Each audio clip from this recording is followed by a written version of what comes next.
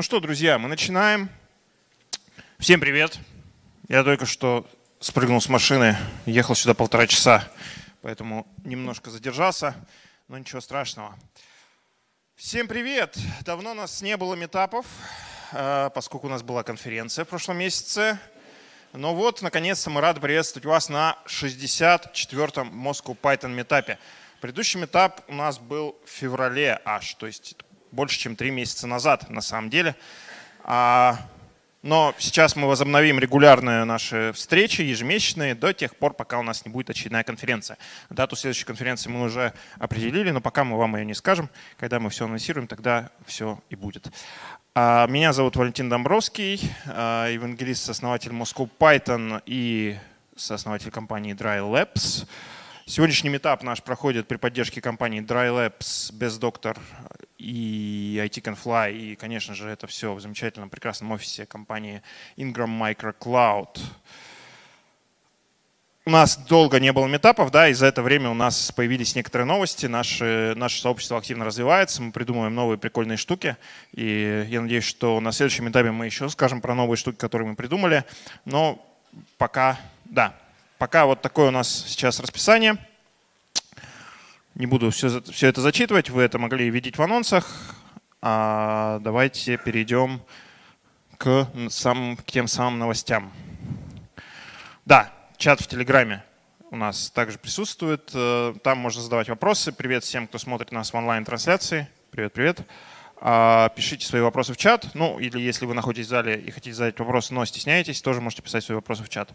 А, кто-то тянет руку зачем-то, не знаю зачем. Ну ладно. А, да, Следующий этап, мы уже определили дату, мы хотим а, возобновить, опять же, нашу практику заранее определения даты этапа, чтобы всем было проще планировать э, свою активность. Соответственно, 27 июня мы встречаемся в компании Дом Клик. Мы принимаем заявки на доклады. На следующем этапе у нас уже есть полдокладчиков. Соответственно, у нас, опять же, все э, доклады, э, как-то подаваемые заявки будут, э, доклады будут ставиться на там, что несколько месяцев вперед. Мы будем вас оповещать, э, не, постараемся оповещать не менее чем за месяц до э, предстоящего метапа о том, что ваш доклад может попасть э, в программу. А вот на этот метап, вы видите, мы даже решили поставить 4 доклада, поскольку вот накопился некоторый пул, который мы хотели бы дать возможность людям выступить. Курсы Learn Python.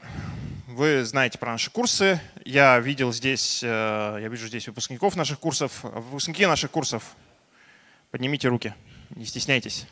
Ух ты, класс, класс, супер. А, нас становится все больше, но я надеюсь, да, когда-нибудь мы займем большую часть этого зала. Вот. А, у нас сейчас идет 13 набор. Все круто, все замечательно. А, да, вы можете если вы знаете Python хорошо, вы можете писать нам на team.python.ru и становиться куратором нашего следующего набора, который начнется в сентябре. А, собственно, помогать нам а, в том, чтобы делать наши курсы еще лучше. И те, кто ходит в Facebook Moscow Python, ну и в Telegram чат Moscow Python, могли видеть наше объявление а, по поводу курсов. А, мы сейчас включаем активную программу поддержки а, в трудоустройстве наших выпускников. И для этого мы, собственно, приглашаем наших партнеров ну, присоединиться тем, кто хочет нанимать джунов к себе.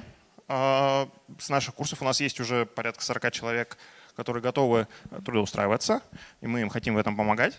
А вы можете подавать, э, собственно, HR компаний, которые хотят их нанять, могут подавать э, заявку через форму, а, чтобы стать партнером по трудоустройству наших курсов.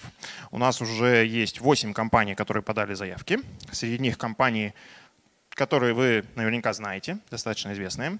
А, и чуть менее известные. Есть даже одна австралийская компания, которая готова принимать джунов на удаленку. Вот. Ну, это, это конечно, прикольно. Вот. А, соответственно, мы хотим эту тему активно двигать. И мы надеемся, в принципе, на то, что скоро а, джуны на рынке станут так же востребованы, как медлы и сеньоры, так сказать, да, а, потому что на самом деле, по секрету скажу вам, медлы и сеньоры не всегда нужны на те задачи, на которые хотят нанимать медлов и сеньоров. Вот такая вот секретная информация. Вот, но об этом мы будем еще рассказывать э, более подробно. Вот, надеюсь, что у нас это все получится. Python Junior подкаст. Кто слышал, кто слушал, кто знает Python Junior подкаст? Ну вот, еще больше людей, чем, чем наших выпускников.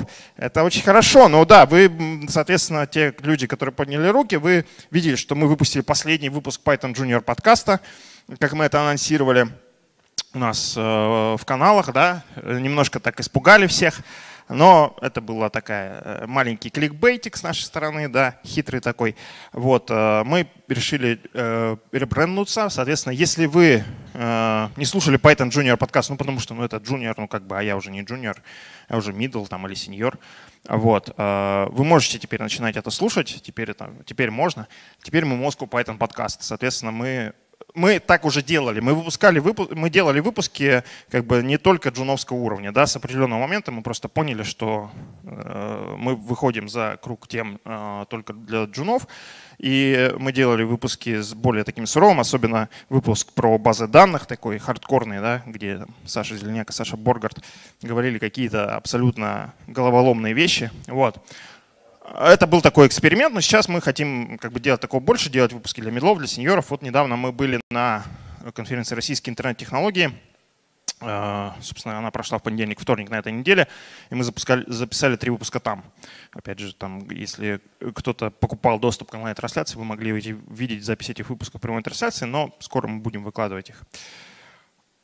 Вот, и еще and one more thing – Я, ну, вы, наверное, те, кто э, внимательные зрители и те, кто был на наших метапах раньше, да, а, вы заметили, что э, поменялся, поменялся один логотип на слайде сегодня. Вот. Э, раньше я был представителем компании Travel Labs. С компанией Travel Labs все в порядке, я остаюсь ее представителем, но здесь я теперь выступаю также в лице сооснователя компании Dry Labs. Dry Labs Э, компания, которая разрабатывает набор библиотек Dry Python, э, набор библиотек, которые помогают, э, скажем так, привносить бизнес-логику в ваш код. Я сейчас не буду подробно останавливаться на этом. На самом деле хотел чуть-чуть как бы рассказать, что это, что это в принципе значит, но поскольку я опоздал, я не успел подготовиться, так что извините. На следующем этапе 27 июня, я надеюсь, скорее всего, будет Артем Малышев, сооснователь Dry Labs и создатель а, собственно, проекта Dry Python, который сможет об этом рассказать чуть подробнее. Ну, если вы, конечно, еще не слышали, потому что Артем уже рассказывал об этом на нашем а, метапе в декабре, а, который проходил в Дом Клике, он делал об этом доклад на конференции, он об этом также в том числе рассказывал на конференции «Российские интернет-технологии», которую я уже упоминал. В общем, мы за ДДД, это во-первых, а во-вторых, мы за open source. Вот.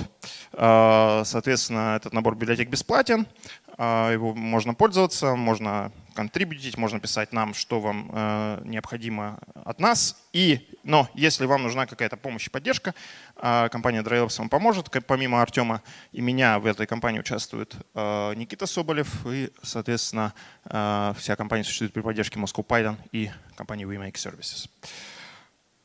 И мы готовы поддерживать другие open source проекты, поэтому если у вас есть какие-то идеи, приходите, пишите сюда или нам на ящик team.python.ru. Мы будем рады вас поддержать.